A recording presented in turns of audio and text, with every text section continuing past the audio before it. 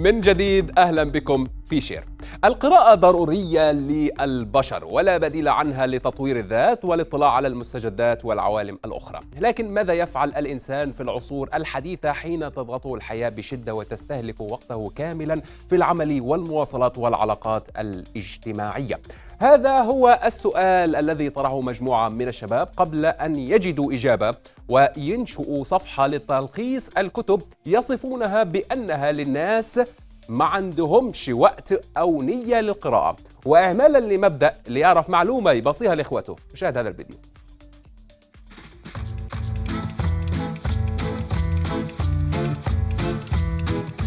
لو افترضنا إن في الشركة بتاعت حضرتك في اتنين موظفين إيه اللي بيخلي موظف فيهم عنده استعداد يموت نفسه عشان الشغل؟ موظف تاني بيتعامل معاكم على قد فلوسكم. مرحبا. based على Daring Greatly و Predictably Irrational عشان أحكي لك على شوية حاجات الكتاب كانوا بيحكوها بتقول ليه الموظفين بيقرروا يتعاملوا معاك على قد فلوسك ومن طراطيف مناخيرك.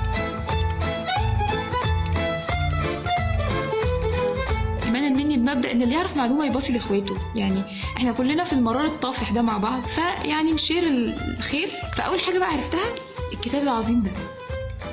Siblings without rivalry. الكتاب ده جامد بس.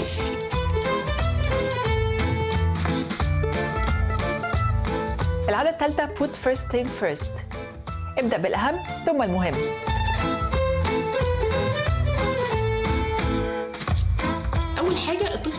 يحس إن إحنا حاسين بمشاعره وقابلينها. آه هي صعبة. مش صعبة عليك عشان أنت عندك مشكلة إحنا مش بنعايره. هي صعبة عموما.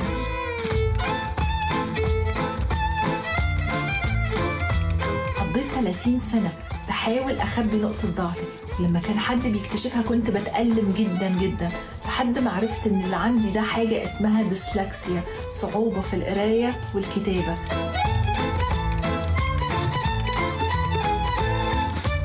مرحبا. حكيت لك في الفيديو اللي فات على خمس غلطات بيغلطوها الناس الجامدين في الشغل بتخليهم يلبسوا ويخشوا في الحيطة مهما كانت شطارتهم. ودلوقتي هحكي لك على أهم أربع غلطات حكاهم مارشال جولد سميث في كتاب What Got You Here Won't Get You There عشان نبقى قفلنا على الكتاب ده خلاص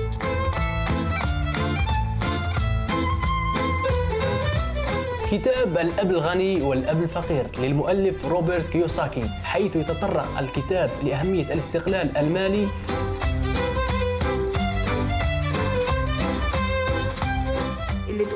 لا ما ينفعش. وما أنا قدامك أهو وأنا ما زعقش ولو ما حصل إيه وبعرف الناس دي بقى ممكن ربنا يرزقهم في يوم من الأيام بولد يحطهم في حجمهم كده ويعرفوا إن الله حق. والناس اللي بتفهم تقول لك إيه بقى في كتبهم؟ كتاب زي The Whole Brain Child مثلا يقول لك إيه؟ لا عادي حبيبتي بتحصل.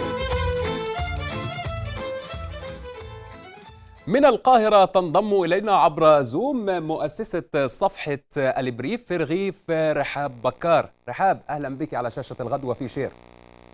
أهلا بيك. الله يخليك يا رحاب. رحاب كلمينا في الأول عن الصفحة وكيفية هذه أو, أو اختراع هذه الفكرة والهدف من هذا الاسم brief في رغيف أم، هو الفكرة بتاعت ال page كانت فكرة قديمة جدا من قبل ال social media. يعني هو كنت قاعدة أنا وصحابي مثلا فنقول إيه آه، كل واحد يقرأ كتاب ونتقابل مرة في الشهر إحنا لو خمسة وكل واحد قرأ كتاب فهبقى قريت كتاب مرة في الشهر بس استفدت بخمس كتب. مهم. فالفكرة نفسها قديمة بس طبعا هي عمرها ما اتحققت ولا شافت النور. fast forward بقى 10 سنين قدام آه، لما قريت الكتاب بتاع siblings without rivalry بالذات لأني لقيت فيه معلومات آه، مفيدة جدا. وأنا كنت بقالي كتير بقرا في ال parenting ساعة ما كنت حامل في بنتي من 11 سنة وأنا بقرا في ال parenting وعملت دبلومه واشتغلت في المجال ده. بس لقيت المعلومات دي أنا ما مريتش عليا قبل كده. فحبيت أشارك المعلومات دي مع آه، صحابي. عملت فيديو حطيته على الفيسبوك. وسبته public على أساس يعني أي حد معدي لو عثر في الفيديو ولقى فيه معلومة مفيدة أنا أولى بالثواب مهم. وهو لو المعلومات نفسها ما فادتش ولادي بشكل مباشر صدقة العلم تعد لهم. فعملت الفيديو والفيديو ات share جامد جدا وفجأة لقيت 250 ألف view مهم. وأنا أصلا يعني مامتي بتتلخبط في اسمي فاللي هو يعني 250 ألف بني آدم شافوا الفيديو يعني نعم. في comments كتير بقى جات لي إنه آه إحنا فعلا ما عندناش وقت نقرأ يا ريت تكملي الكتاب يا ريت تقولي لنا معلومات أكتر فعملت فيديوهات. جات لي comments تانية إنه حطي بقى الفيديوهات كلها في page واحدة لأني أنا بعمل فيديو كل شهر مثلا فبيتوه وسط ال posts بتاعتي. فعملت فساعتها بقى أحييت فكرة إنه آه بقى كل واحد يعمل كتاب أو يلخص كتاب ونحطها كلنا على ال page ده. طبعا أنا ما عزمتش حد بس عملت ال page وكان عندي أمل إنه ناس تانية تنضم طب إلى أي آه، مدى رحاب ال social media ساهمت وساعدت في إنجاح هذه الفكرة. فكرة. آه، هو زي ما حكيت لك كده بالظبط. دي فكرة عمرنا ما عرفنا نحققها عمرنا ما. عملنا كده ولا اتجمعنا ولا لخصنا كتب ولا عملنا أي حاجة. مهم. بس ال social media خلت ده سهل جدا. أنا عملت الكتاب ولخصته وحطيته. واحد بعد ثلاث شهور أنور آه، شاف ده وكان هو already بيعمل ده. وإحنا ما نعرفش بعض أصلا. بس كان جمعنا الاسم. يعني هو كان بيذكر الاسم ده وأنا كنت عاملة ال page بالاسم ده. فبعت لي آه، إيه رأيك نتعاون قلت له يا قوي قوي يعني هو ده الهدف أصلا.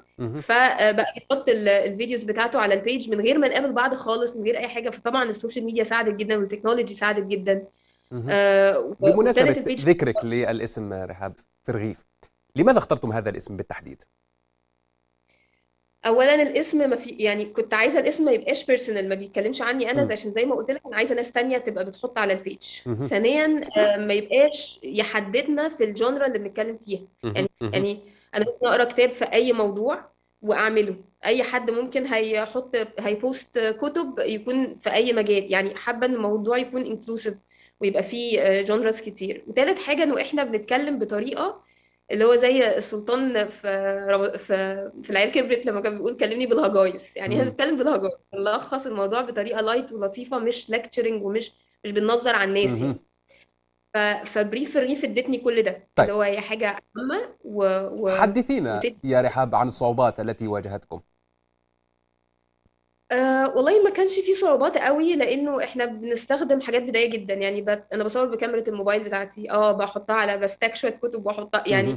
الموضوع مش محتاج إمكانيات خرافية. وده برضو من الحاجات اللي سهلتها ال social media. مش محتاجة أجر استوديو وكاميرات وبتاع. يعني بأبسط الإمكانيات بنعرف نعمل ده. فيعني ما فيش صعوبات قوي واجهتنا حتى ال communication بينا كان سهل. آه، إحنا مثلا بقية الناس اللي معانا على ال page آه، إيمان آه، قاعدة في اسكتلندا داني قاعد في أمريكا ليأتي هنا السؤال رحاب كيف يتم و- الإعداد لهذه الفيديوهات؟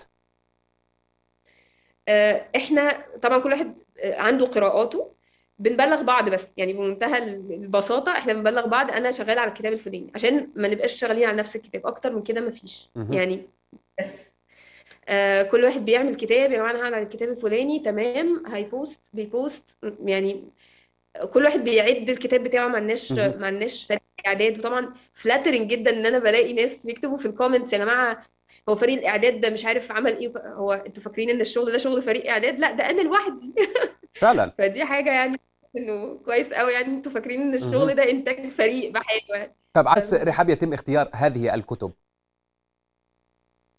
أغلبها اختيارات شخصية يعني. أنا مثلا هتلاقي أغلب الكتب اللي بشتغل فيها حاجات parenting relationships لأن دي الحاجات اللي أنا مهتمة أقرأ فيها عشان بتساعدني في حياتي.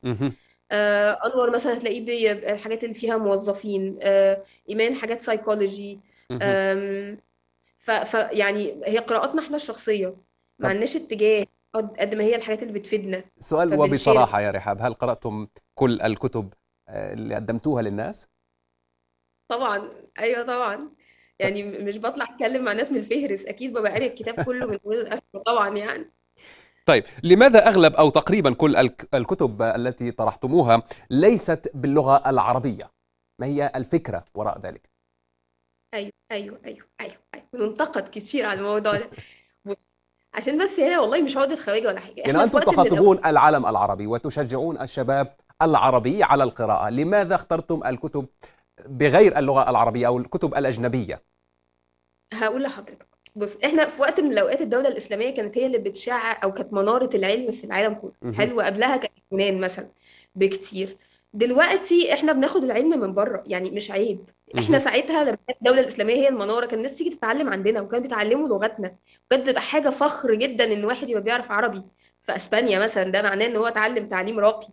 ف... فهي دي سنة الحياة. هو. دلوقتي هم متفوقين جدا في البحث العلمي ومتفوقين في البحث عموما نعم ولكن هنالك تاريخ كبير للمثقفين العرب في كافة المجالات. آه، بس إحنا المجالات اللي بنتكلم فيها اغلبها هم عاملين فيها دراسات قوية جدا حتى هتلاقي كتير جدا من اللي بيشتغلوا في ال coaching أو في السايكولوجي آه، والدكاترة على فكرة بشريين ونفسيين وكله بياخدوا العلم من بره. وبيخرجوا ياخدوا شهادات من بره لأنه بره في تقدم في في المجالات دي كبير قوي لو هنتكلم على الروايات ده. موضوع تاني. يعني إحنا عندنا مثلا هنا السؤال. لماذا ندر استخدامكم وطرحكم لأفكار الروايات؟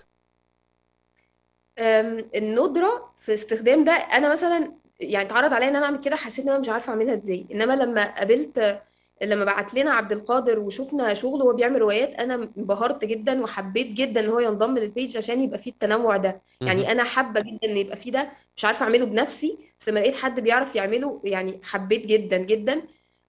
وهو بيعمل ده وأنا شايفة إنه بيعمله بشكل لطيف جدا ومبهر جدا.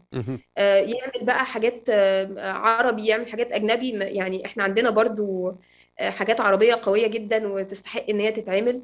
آه، يعني ربنا يوفقنا إن شاء الله ونعرف نعمل بسؤال بشكل شخصي يا رحاب. الكتب المفضلة لديك؟ أي حاجة بتساعد. بمعنى؟ حاجة تساعد. بمعنى؟ يعني أكيد مثلا هناك كتاب معين مفضل لديك. كتاب محدد يعني؟ نعم. هقول لك آه، في كتاب اسمه آه، Positive Discipline A to Z. ده ممكن يكون المفضل بالنسبة لي أو مفضل أيضا بالنسبة لي باللغة لأن الإنجليزية. يا رحاب. آه، لا يوجد إيه؟ يوجد لغة عربية يا رحاب. عندنا بتبقى يا مترجمة يا يا إما اللي كاتبها بنتعلم منهم برضو يعني. نعم. ف... طيب خططكم ال- ال- المستقبلية. حدثينا عن الخطط المستقبلية لهذه الصفحة. خططنا المستقبلية إنه آه، نقدر ننتج أكتر آه، ويبقى عندنا تنوع أكتر نتكلم في مجالات أوسع. آه، عندنا presenters أكتر يعني إحنا دلوقتي خمسة نبقى أكتر من كده بكتير وكل واحد يبقى عنده شغفه في في مجال إحنا مثلا ما بنقراش فيه قوي. فيبقى في تنوع كبير قوي وتبقى في الآخر زي library زي مكتبة كبيرة أي حد عايز يعرف أي حاجة عن كتاب review أو ملخص أو كده يبقى عارف هو يفتح البريف في رغيف غالبا هيلاقيه هناك. ده الأمل. رحاب بكار مؤسسة صفحة البريف في رغيف شرفتينا ونورتينا في شير. شكرا جزيلا لك.